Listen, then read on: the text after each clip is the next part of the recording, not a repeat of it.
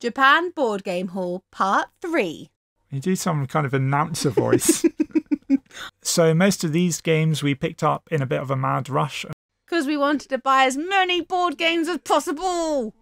First off, I picked up this copy of Rhino Hero from Loft, Amy's favourite washi tape shop. And stickers. Okay, um, it's a fun little dexterity game I hear people talk about a lot, so thought we'd add it to the collection.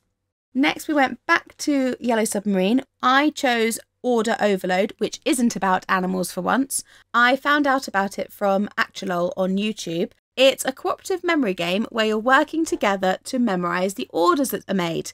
I also really like the little people that come in here.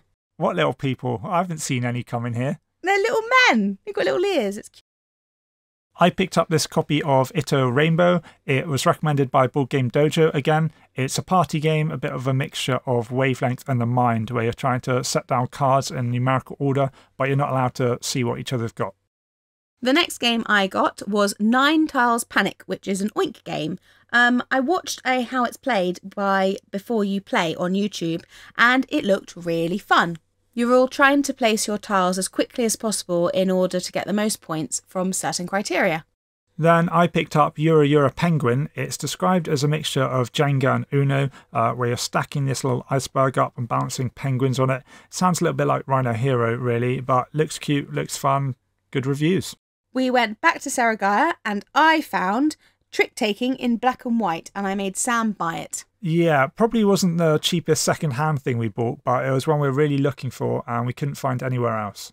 It's a trick-taking game with some elements similar to Scout and Fox in the Forest, so you're only allowed to either use the black or the white number on the card each round, and you only want to score a certain amount of tricks for each colour as well.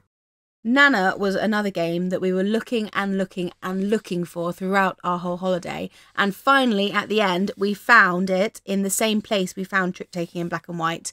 Nana's a popular little memory game where you're trying to collect three of a kind with cute little artwork of animals. Bonus round! Sam's birthday presents. Bonus round! What he got for birthday? So these ones we didn't buy in Japan, but they are Japanese games. Amy bought them from Travelling Games. The first one I chose was Pokemon Nine Tiles. Um, I don't know how to play it, but I picked it because it's Pokemon's. Basically, you're trying to arrange your Pokemon in the same way that they are on a card which is flipped over in front of you before everyone else. The next one is this version of Love Letter, which I really like the artwork of. It's got really high quality cards too. They're a bit like credit cards almost. And finally, I got Sam this game called Daruma Atsume.